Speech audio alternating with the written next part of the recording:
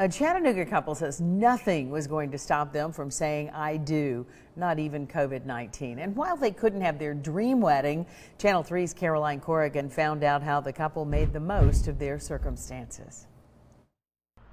For more than a year, Jamie and Stephen Bradford were planning a huge wedding here at the Hunter Museum in Chattanooga. 175 people planned to celebrate their big day.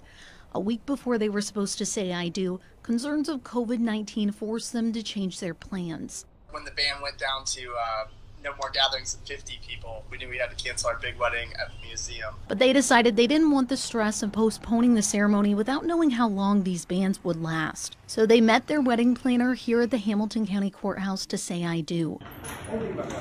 You're married. Congratulations. Y'all did it capturing these photos of the couple outside kissing in the rain, celebrating with a small dinner for two at home. Jamie even baked a cake. While they weren't able to celebrate with family and friends, they say they have no regrets. We had the most fun day. We made it like our own story. Um, and I think I told him yesterday when I was like a little bit sad about not having our wedding. I was like, I'm positive in like a year when I look back, I'm going to say, I'll take this story over what I thought I wanted any day. Realizing that for better or for worse, for richer or for poorer, in sickness and in health, nothing could stand in between their love for one another. Ours was unique and different. We're, we're good with that. Reporting in Chattanooga, Caroline Corrigan, Channel 3 Eyewitness News.